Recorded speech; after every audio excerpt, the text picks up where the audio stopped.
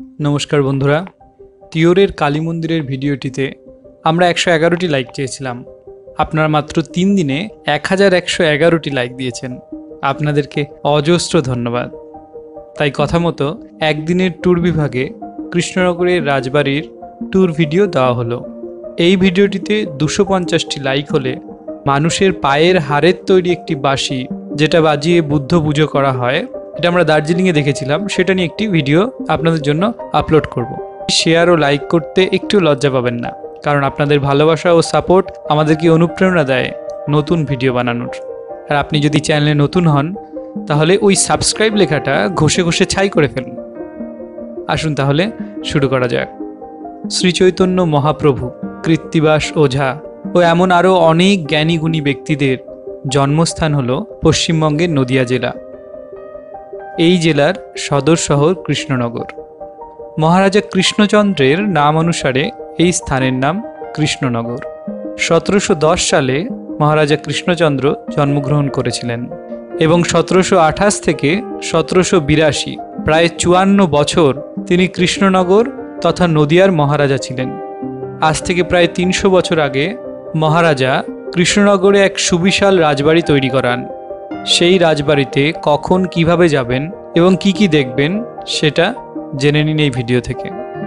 শিয়ালদাহ থেকে কৃষ্ণনগর লোকাল ধরে আসতে পারেন কৃষ্ণনগর স্টেশনে। স্টেশনের পাশেই দেখতে পাবেন টোটোর ভিড়। টোটোয় চেপে মাত্র দশ মিনিটে আপনি রাজবাড়ি পৌঁছে যেতে পারবেন।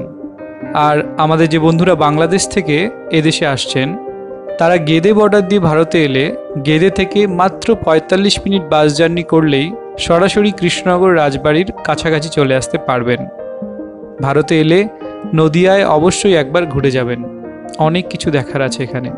টোটো বা বাইকে চেপে রাজবাড়ি আসলে রাজবাড়ির গেটে প্রবেশের মুখে এই রং উঠে যাওয়া অর্ধভগ্ন দুর্গের ন্যায় প্রাচীন বাড়িটি দেখতে পাবেন।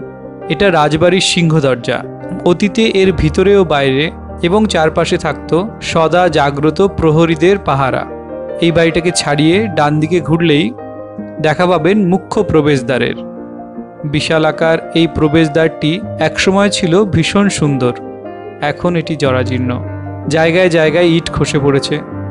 এর চারিপাশে ভালো করে ঘুরলে দেখতে পাবেন প্রাচীরের বিভিন্ন স্থানের দখল নিয়েছে বট ও অশ্বত্ব গাছেরা। উপরের দিকে খেয়াল করলে প্যাঁচা ও বাদুরের আনাগোনাও চোখে পড়তে পারে। এটি মুখ্য দরজা। একসময় মহারাজা নদিয়ার রাজধানী শিবনিবাসে স্থানান্তরিত করেছিলেন। সেখানেও তিনি প্রাসাদ বানিয়েছিলেন এবং সুউচ্চ তিনটি মন্দির বানান এবং রাজ রাজেশ্বর শিবলিঙ্গও প্রতিষ্ঠা করেছিলেন। মহারাজের তৈরি সেই সুবিখ্যাত শিবনিবাস মন্দিরের থামের গঠন আর এই থামগুলির গঠন একই রকম। শিবনিবাস নিয়ে আমাদের চ্যানেলে একটি ভিডিও আছে, উপরের বাটনে ক্লিক করে দেখে নিতে পারেন, ভালো লাগবে। যাই হোক, রাজবাড়ির মুখ্য দরজা পার করে বেশ কিছুটা এগিয়ে গেলে পৌঁছাবেন রাজবাড়ির প্রধান দরজায়।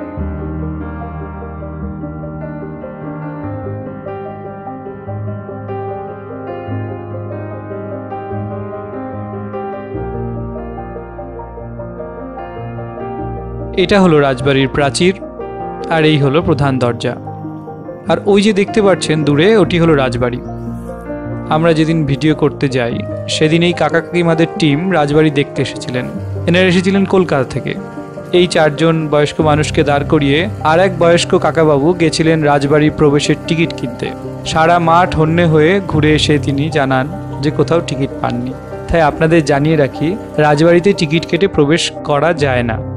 মহারাজা কৃষ্ণচন্দ্রের বংশধরেরা এখনও রাজবাড়িতেই থাকেন। কাজেই বসত বাড়িটি অবাধ প্রবেশের জন্য উন্মুক্ত নয়। ট্যুরিস্টদের জন্য রাজবাড়ির মুখ্য দ্বার বছরে মাত্র তিনবার খোলা হয়। দুর্গাপুজো, জগদ্ধাত্রী পুজো ও বারোদলের মেলার সময়। এই সময় রাজবাড়ির গেট সর্বসাধারণের জন্য খোলা থাকে। তবে রাজবাড়ির মন্দির প্রাঙ্গণটুকুই সবার জন্য ওপেন করা থাকে। এখানে আসলে আপনি সুন্দর সাজানো বাগান এবং একটি কামান ও বেশ কিছু বিগ্রহ দেখতে পারবেন। সমগ্র বাড়ি ঘুরতে দেওয়া হয় না। কাজে আপনারা বছরের যে কোনো সময় এখানে এলে শুধু বাইরে থেকে ঘুরেই ফেরত চলে যেতে হবে। যদি রাজবাড়ির ভিতরে দেখতে হয়, তাহলে আপনি বারোদলের মেলার সময় এখানে আসুন। অনেক দিন ধরে রাজবাড়ি খোলা থাকে সেই সময়। বৈশাখ মাসে এই মেলাটি হয়। সামনের এই বিশাল মাঠটি দেখতে পাচ্ছেন। এখানে জমজমাট এক মেলা বসে। কয়েকশো দোকান এবং হাজারো লোক এখানে ভিড় করেন। রাজবাড়ির গেটের একটু সামনে এই গাছটিকে দেখতে পাবেন। আশ্চর্য হয়ে যাবেন দেখে গাছের কাণ্ডের ভিতরে কিছুই নেই, একেবারে ফাঁপা, ছাগল শুয়ে থাকে ভেতরে। তবুও না জানি কত বছর ধরে বেঁচে আছে এই গাছটি। এগুলো দেখে পিছনের রাস্তা দিয়ে ঘুরে ঠিক রাজবাড়ির পিছনের দিকে গেলেই দেখতে পাবেন রাজদিঘি। এটি আসলে রবি ঠাকুরের কবিতার বিখ্যাত সেই অঞ্জনা নদী। কৃষ্ণনগরের জলঙ্গি নদী থেকে খাল কেটে এই অঞ্জনা নদীর সৃষ্টি। রাজবাড়ির পাশ দিয়ে প্রবাহিত হয়ে এই নদীটি বাতকুল্লা গ্রামের উপর দিয়ে ব্যাসপুর অঞ্চলে চূর্ণী নদীতে মিশেছে। বাতকুল্লা গ্রামে ভীষণ ভালো দুর্গাপুজো হয়। এবছর বাতকুল্লার পুজো মণ্ডপ ও প্রতিমা দেখতে চাইলে কমেন্ট করে জানাবেন। অবশ্যই একটি ভিডিও দেব। যাই হোক এই রাজদিঘির এক প্রান্তে, নদীর উপরেই এই জীর্ণদশা দালানটি দেখতে পাবেন। এটি একসময় ছিল রাজ পরিবারের লোকদের স্নানঘাট। দেখতেই পাচ্ছেন, এই স্নানঘাটটির এখন অবস্থা শোচনীয়। সম্পূর্ণ ছাদখানা দখল নিয়েছে সুবিশাল এক বটগাছ। চারিদিকে নোংরা আবর্জনায় পরিপূর্ণ হয়ে অঞ্জনা নদীও তার জলের ধারা হারিয়েছে। এই অঞ্জনা নদীর পাশেই কাছাকাছি এক গ্রামে ছিল গোপাল ভাঁড়ের বাড়ি। আপনারা জানেন, কৃষ্ণনগরের গোপাল ভাঁড় জগদ্ধাত্রী ঠাকুর, মাটির পুতুল আর সরপুরিয়া সরভাজার নাম জগৎজোড়া গোপাল ভাঁড়ের বাড়ির এখন আর কোনো অস্তিত্ব নেই।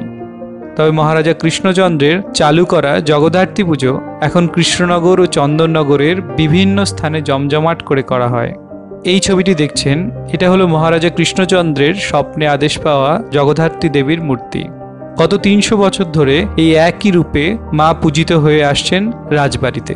জগদ্ধাত্রী পুজোর সময় কৃষ্ণনগরে এলে দেখতে পাবেন রাজকীয় জাঁকজমক। সারা কৃষ্ণনগর জুড়ে প্রায় একশো পূজা মণ্ডপ হয়। বিভিন্ন মন্দির ও মণ্ডপে পূজিত দেবীর স্বর্ণালঙ্কার ও বেশভূষা দেখলে রীতিমতো স্তম্ভিত হয়ে যেতে হয়। চাষাপাড়ার বিখ্যাত জগদ্ধাত্রী দেবী বুড়িমাকে সাজানো হয় প্রায় ছ কেজি সোনার গহনা দিয়ে। এসবই মানুষের দান করা সোনা ও রূপা। প্রতিটি দেবী মূর্তি স্বর্ণালঙ্কারে সুসজ্জিত হন পুজোর দিন। সে এক বিশাল আয়োজন। সারা কৃষ্ণনগর জুড়ে মানুষের ভীষণ ভিড় হয়, ভীষণ মজা হয়। আপনারা জগদ্ধাত্রী পুজোর সময় অবশ্যই আসবেন এবং সময় করে ঘুরে যাবেন। তো বন্ধুরা, এই ভিডিওটি এই পর্যন্তই। ভালো থাকবেন, সুখে থাকবেন। আর এই পুরো ভিডিওটি দেখার জন্য আপনাকে অশেষ ধন্যবাদ।